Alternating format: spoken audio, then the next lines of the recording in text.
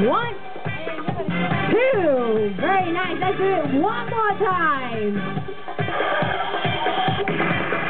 All right, Philip. Ready? Let's go.